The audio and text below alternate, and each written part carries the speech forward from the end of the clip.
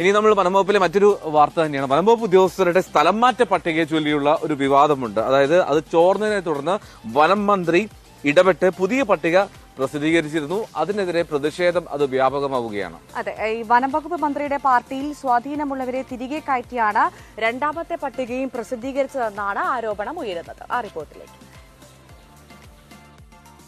ഈ മാസം ആദ്യമാണ് പതിനേഴ് അസിസ്റ്റന്റ് ഫോറസ്റ്റ് കൺസർവേറ്റർമാരുടെ സ്ഥലം മാറ്റ പട്ടിക തയ്യാറാക്കിയത്.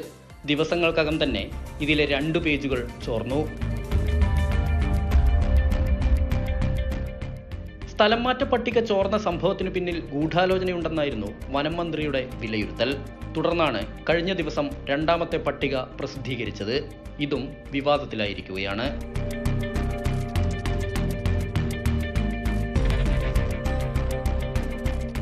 എ പി സി സി എഫിന്റെ ഓഫീസിൽ നിന്നാണ് പട്ടിക ചോർന്നതെന്ന നിഗമനത്തിലാണ് വനം വകുപ്പ് ഉദ്യോഗസ്ഥർ. എന്നാൽ ഇപ്പോഴാകട്ടെ രണ്ടാമത്തെ പട്ടികയിൽ കയറിക്കൂടിയവരിൽ വനം മന്ത്രിയുടെ പാർട്ടിയിൽ സ്വാധീനമുള്ളവരാണ് കൂടുതലുമെന്ന് മറുപക്ഷം പറയുന്നു. സി പി എമ്മിലും സി പി ഐയിലും സ്വാധീനമുള്ള ഉന്നത ഉദ്യോഗസ്ഥരെ വെട്ടിയാണ് പുതിയ പട്ടിക പ്രസിദ്ധീകരിച്ചതെന്ന ആക്ഷേപമാണ് വിവാദങ്ങൾക്ക് വഴിമരുന്നിട്ടത്.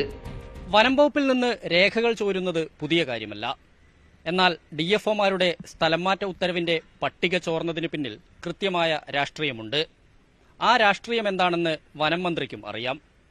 S Vinesh Kumar news eighteen Kozhikode.